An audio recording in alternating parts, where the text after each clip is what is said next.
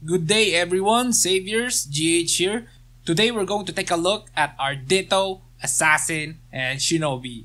We're gonna take a look at the classes, what they do, and tell you guys the reason why I included each of these classes in this build, the good and the bad, and some of my thoughts at the end of the video. And with that said, let's do this.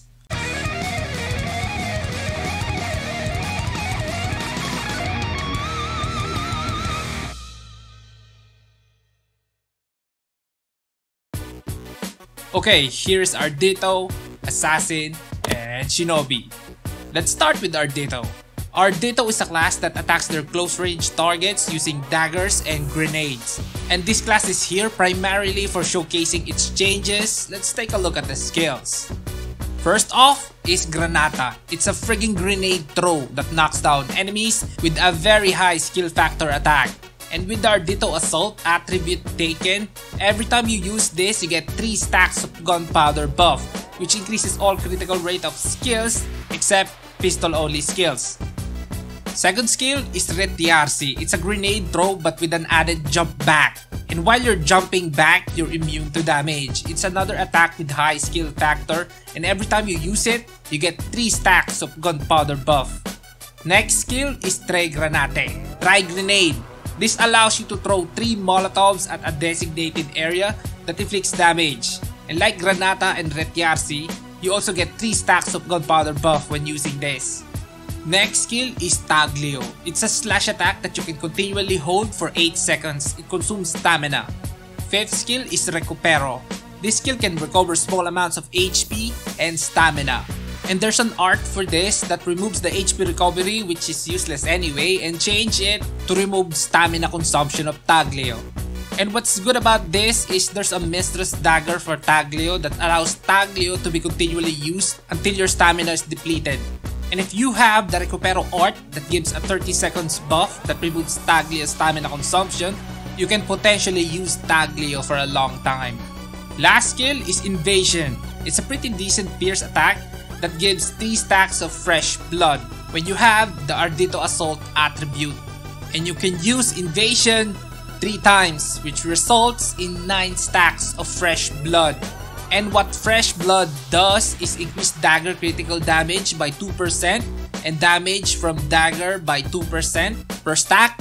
And I almost forgot, Taglio also gives 3 stacks of fresh blood.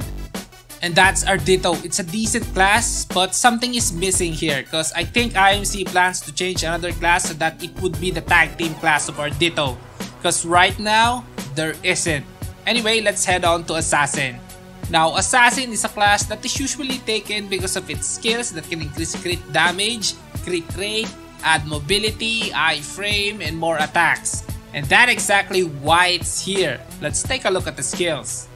First off is Hasisas. This is one of the main reasons this class is here because this can give more critical damage and since this build has a very high crit rate, you will definitely make use of Hasisas. Now, there's a Ski Eclipse Snipe for this that further increases the critical damage effect of Hasisas. Get that, it's gonna be useful. Next skill is Annihilation. It's an area attack that also makes you immune to damage. This one is a pretty good skill. Some only put one level on it because they only use it to avoid damage.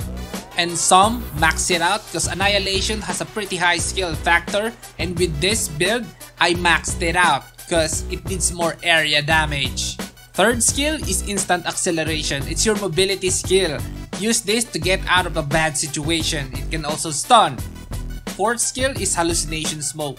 This reduces enemy evasion and crit resist, and there's an art for this that gives it the ability to inflict assassination target debuff, and that makes the inflicted target a priority of behead teleportation, and the target also receive more damage from dagger attacks. Next skill is behead. This damages the enemy and makes them bleed. And in PvP, behead allows you to move behind the enemy to attack. Last skill is piercing heart. It's an attack that ignores enemy defense and stops enemies from recovering. And this also accelerates skills that makes enemies bleed. And also with the proper attribute, it can also increase your crit rate by 50% for 10 seconds. It's a pretty good skill, especially with the right class combination. and that's Assassin, a pretty good class that works with every build. Savor it, cause IMC plans to nerf this one. And now, the last class, Shinobi. Now Shinobi is a class that are familiar with special tactics called ninjutsu. It's usually taken because of damage increase and abilities that can help in mobbing and boss fighting. Let's take a look at the skills. First skill is Bunshin no Jutsu. This allows you to summon two shadow clones that can imitate Shinobi skill. And there's three attributes for this that gives it an additional effect. First is Bunshin no Jutsu Tai, which gives you knockdown and knockback immunity and also reduces damage taken. Second is Bunshin no Jutsu Gen. This one gives you the ability to inflict stun, silence, slow, and blind. Third is Bunshin no Jutsu Jin, this improves the capability of some pure shinobi skills. I will just mention the improvements as I explain each shinobi skills. Those are the three attributes for Bunshin no Jutsu. Next are the skills that can be imitated. First skill that can be imitated is Raito no Jutsu. It's a lightning pierce attack that can be imitated by clones. And when the Jin attribute is on, its area of attack widens. Next is Kunai. It's a multi-hitting pierce type attack that can hit multiple enemies. It can also be imitated by clones. This one is not affected by Jin attribute. Third is Katon no Jutsu. It's a fire type attack that can deal multiple hits depending on the hitbox of the enemy. It can also be imitated by clones. And when the Jin attribute is on, it gets a chance to invoke a flame under the enemy that also deals damage. Now, all of those shinobi skills when clones are present and they hit an enemy, they generate one stack of ninjutsu Baku buff. And one stack is a possible 1% of physical damage increase. And you can only consume ninjutsu Baku buff by using Meijin no Jutsu, which converts the ninjutsu Baku buff to ninjutsu Sato buff, which increases physical damage depending on the number of ninjutsu Baku buff. Last skill that can be imitated is Meijin Jutsu. It's an area attack that packs a punch. And when the Jin attribute is on, upon using Meijin no Jutsu, it will deal multi-hit first before initiating Meijin no Jutsu main attack. And lastly, Mokuton no Jutsu. It's a party buff that can be triggered when you're hit by enemies. And what it does is increase movement speed and reduce damage taken and that's Shinobi. Right now, it's great for pretty much everything. Pistol or dagger, mobbing or boss fighting. And that's the build. Now let's do the good and the bad. Let's start with the bad. First off is the lack of real direct synergy or classes that benefits from each other. Most of the classes here works in some way, but it's more of a general way. Not exactly the kind of synergy that defines a class build. Next is compared to the top DPS scout build at the moment, which is Assassin, BM, and Sheriff, it pales in comparison. Lastly, it's not particularly good at anything. Now for the good stuff. I said it's not particularly good at anything because it's decent for most of the content you're gonna encounter. Its mobbing capability is nice, not exactly a shining example of a mobbing build, but it works.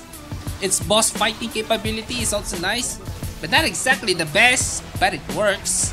You have a few mobility skills here that can help you in a bad situation, and also two iframes that will definitely prove useful in a dangerous situation. In off-field defense, this will function great because of its good balance of mobbing and single target DPS. In challenge mode, this will definitely help especially if you know what you're doing. And raids, for the most part, it will do well. And free dungeon bosses will not be a problem because you have everything here. Iframe, mobility, and damage. All in all, this is a great build, especially for new players that's just looking for a class build that works and fun to play with. But if you're looking for a dagger build that GH recommend, at the moment, September 2020, I would recommend checking out Assassin, Linker, and Rangda. And for pistol, it's Bullet Marker, Sheriff, and Assassin.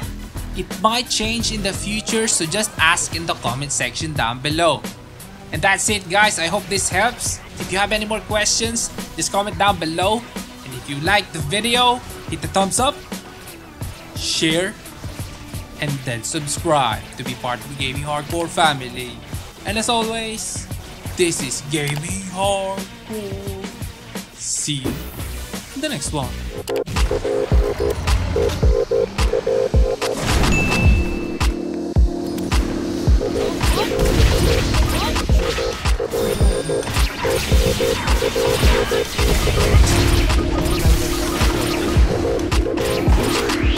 Shoot it, shoot it,